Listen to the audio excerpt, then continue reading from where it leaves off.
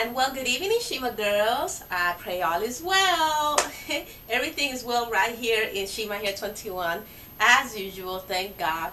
To the glory, always. well, um, let's get right into this video. In the past, I have spoken on hair haters um, before. And now in the present, right now, I want to bring them back up. Because, you know, every single day I'm getting newbie Shima girls. And also to to see how you ladies that have already been on your journey for a prolonged period of time are dealing with these haters. You know, let's tackle this issue again because I know a lot of us have experienced it or are experiencing it right now. So anyways, I was in one of my old um, hair haters video and I was reading the comments and man, as I was reading through those comments, I became very, very sad. You know, once more, you know, to to know how cruel and evil, you know, our own people can be to us, you know. And this is why it has inspired me to create this video again regarding hair haters to re-inspire us ladies yet again. You know, we get people picking on Shima girls just because, you know, they have protective styles on and, you know, that doesn't look normal to the quote-unquote um, so-called normal people. So um, I want to discuss all of that because I know that that can be definitely painful, definitely painful. Okay, and again, especially to the newbie Shima girls who may not have watched all of my videos and they're probably dealing with a hater right now as we speak or a couple of haters and you know they're picking on your protective style and they're trying their best to you know kill your spirit you know, so that you will give up and eventually become one of them. Okay?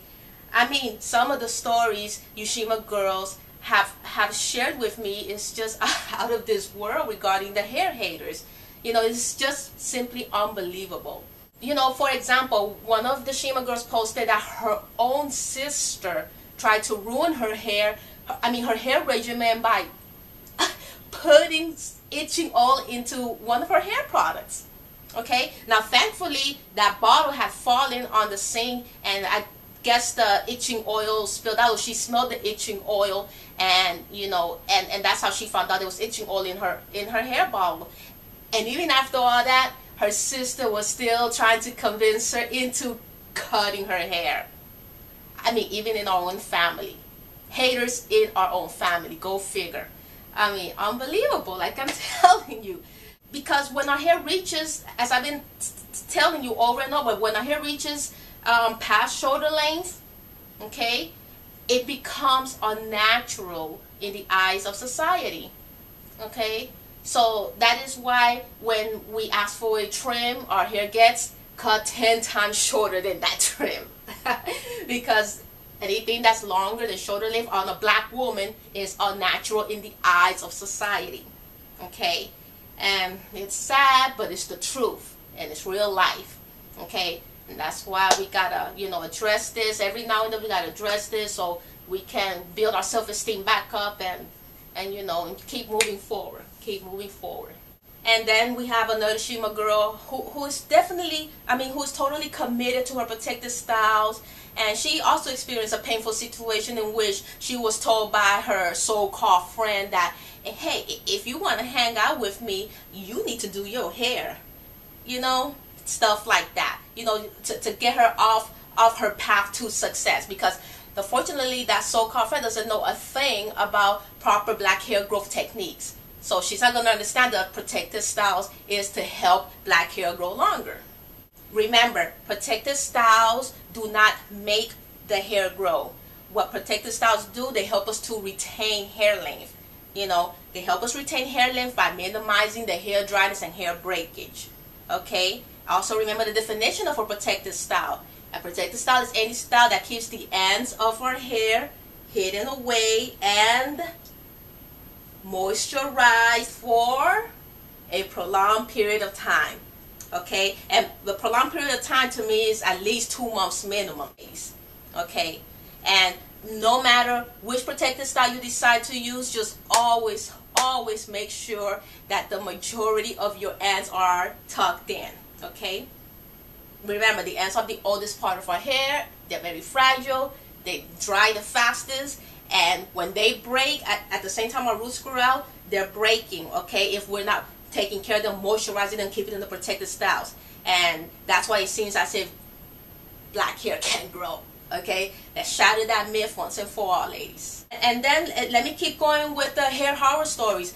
There was another shima girl who had this lady literally get in her face and ask her in anger why are you trying to grow your hair to waist length i mean really really ladies. And, and this is coming again from our own kind our own kind our own color.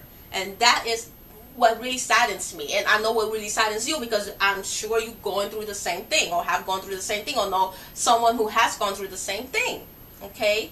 And sadly the reason why this is happening is because you know we have been conditioned year after year generation after generation to think that our hair can only grow to a certain length which is shoulder length okay? And this is why it's it's like seeing a unicorn when you see a black woman with hair down down to her waistline her behind. I mean when it's literally that long it's like seeing a unicorn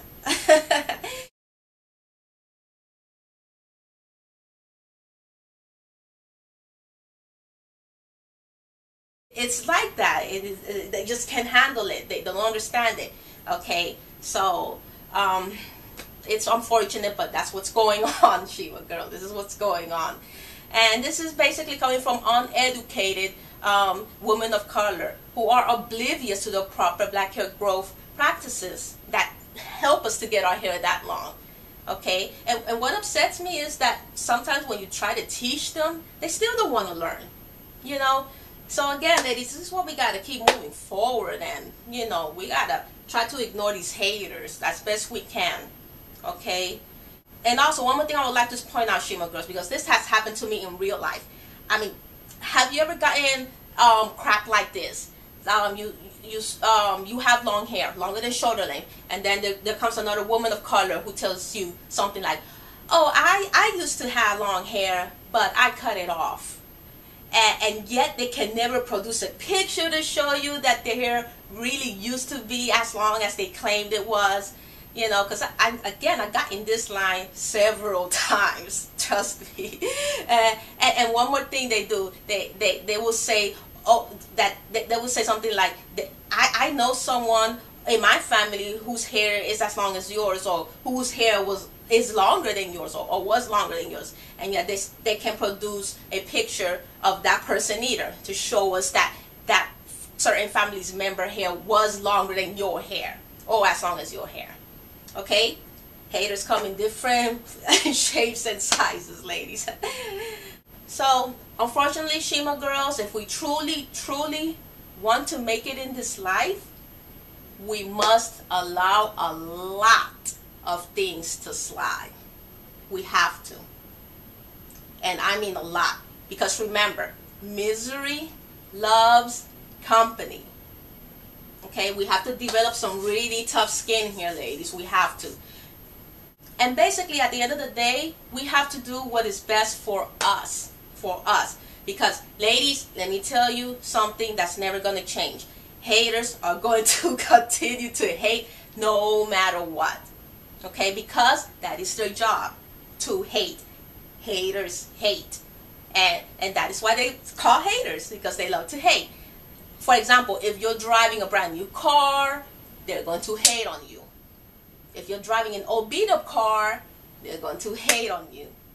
If you lose a lot of weight, they're going to hate on you.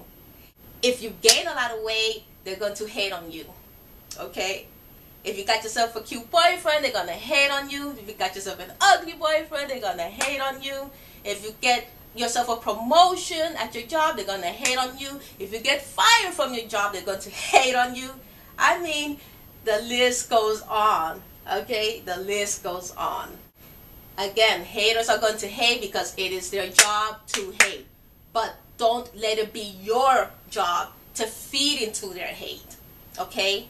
Don't let it be your job to feed into their hate, Shima girls. You just let them hate and you know and you keep it moving. Always keep it moving. Do not give them any of your energy. Give your energy to God. Give your energy to your dreams. Give your energy to positive things that are going to give you positive results in your life. Okay? Well, that's it for this video, Shima girls. If you have any hair hater experience of your own, feel free to share. Okay? And please take this advice, ladies. You know, keep it moving. Don't feed into that their negative energy. Don't give them any of your energy. Just keep it moving. You are going to make it, but you got to stay focused, Shima girls. Always stay focused. Right? Take care, and see you ladies next time.